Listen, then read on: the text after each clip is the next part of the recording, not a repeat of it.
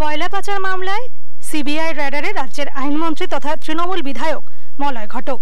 কলকাতা এবং আসানসোল মিলিয়ে মন্ত্রীর মোট সাতটি বাড়ি এবং অফিসে তল্লাশি চালিয়েছেন কেন্দ্রীয় তদন্তকারীরা। এদিকে বিবাদীবাগের মন্ত্রী আবাসনে ঢুকে মন্ত্রীকে জিজ্ঞাসাবাদ চালিয়েছেন সিবিআই কর্তারা। এদিন মন্ত্রীর বাড়িতে সিবিআই তল্লাশির প্রতিবাদে পথে নেমেছেন তৃণমূল সমর্থকেরা। আসানসোলের রাস্তায় বিক্ষোভ দেখিয়েছেন তারা। সিবিআই সূত্রে খবর, বুধবার সকাল আটটা থেকে শুরু হয়েছে এই জেরা পর্ব। এদিন সকাল আটটা নাগাদ কেন্দ্রীয় বাহিনীর জওয়ান এবং সিবিআই আধিকারিকদের নিয়ে ছটি গাড়ি মন্ত্রীদের আবাসনে পৌঁছয়। সেখানেই মন্ত্রীকে জেরা করা হয়েছে। এদিন সকালেই মন্ত্রীর সাত বাড়িতে একসঙ্গে হানা দেন কেন্দ্রীয় তদন্তকারীরা। আসানসোলের চিলাডাঙ্গা, আপকার গার্ডেন ইস্ট এবং আপকার গার্ডেন ওয়েস্টের বাড়ি অফিস এবং দলীয় কার্যালয় তল্লাশি চালিয়েছেন তারা। আপকার ওয়েস্টের বাড়িতে সস্ত্রীক মন্ত্রীর বাস। সেখানে আপাতত মন্ত্রীর স্ত্রী রয়েছেন। সেই বাড়িতে যখন তল্লাশি চলছে, ঠিক সেখান থেকে পঞ্চাশ মিটার দূরে বিক্ষোভ দেখিয়েছেন তৃণমূল কর্মী সমর্থকেরা। তাদের দাবি, বিজেপির ইঙ্গিতে সিবিআই কাজ করছে। মিথ্যে অপবাদ দিয়ে মলয় ঘটকের বাড়িতে সিবিআই হানা দিয়েছে। পুরোটাই রাজনৈতিক অভিসন্ধি থেকেই করা হচ্ছে।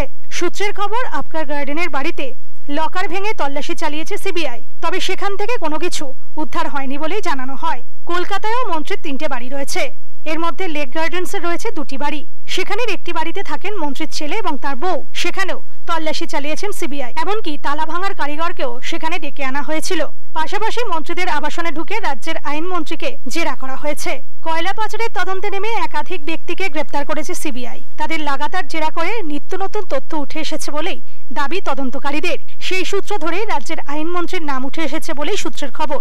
সেই সূত্র ধরেই নথির খোঁজে আসানসোলের বাড়িতে হানা দিয়েছে কেন্দ্রীয় তদন্তকারী সংস্থার প্রতিনিধিরা। বিজেপি। বিজেপির দালাল, সিবিআই, ইডি, তৃণমূল কংগ্রেসের নেতাদেরকে মিথ্যা হারান করছে, পরেশান করছে মানুষ কিন্তু দেখছে বিজেপি পশ্চিমবঙ্গ কেন? দু হাজার চব্বিশ পুরো ভারতবর্ষে ছাপায়া হয়ে যাবে।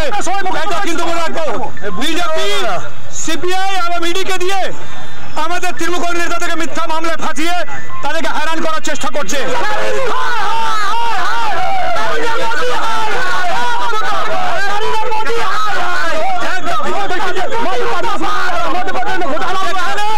অমিত শাহ ছেলেকে গ্রেফতার করছে না কেন ছেলে গ্রেফতার করছে না কেন শুভেন্দু অধিকারী গ্রেফতার করছে না কেন যারা বিজেপি নেতার তারা দুর্নীতিগ্রস্ত তাদেরকে গ্রেফতার করছে না কেন?